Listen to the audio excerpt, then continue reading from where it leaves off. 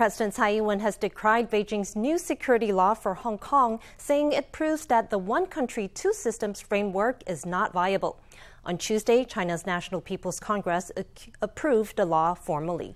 The security law's uh, enactment is expected to contribute to the growing tide of Hong Kong citizens wishing to settle in Taiwan.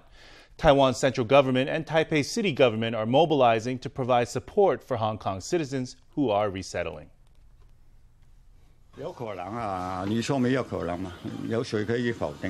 Exile Hong Kong bookseller Lam Wing Kee points to his flag. Free Hong Kong, revolution now, it says.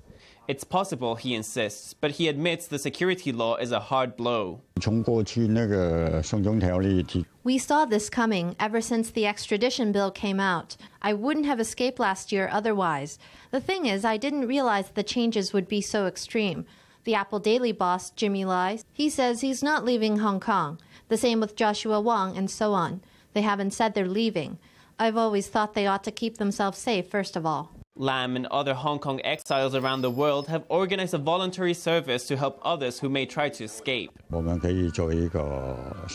We can sort of prop them up, as it were, so they can go and find the organizations and friends who will help them. China once promised that Hong Kong's situation would stay stable for 50 years. With the approval of the security law, we can see that promise has been grossly undermined. We feel profoundly disappointed. This proves that one country, two systems is not viable. President Tsai has once more spoken up in support of Hong Kong's struggle for democracy.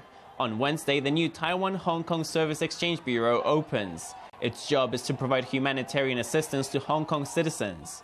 Taipei city government has also pledged to form a task force to help Hong Kongers move to Taiwan. A new section on their immigration website is dedicated to Hong Kong and Macau. 我们提供的是 we are providing a welcoming service with dedicated personnel, dedicated phone lines, and dedicated procedures to help them with issues related to education and work. The number of Hong Kong citizens trying to settle in Taipei has been gradually growing ever since the extradition law was announced. Now, as the security law is enacted, observers expect those numbers to keep rising. With national and local governments stepping in to support Hong Kong, Taiwan seems to be serious about its role as a bastion of democracy in East Asia.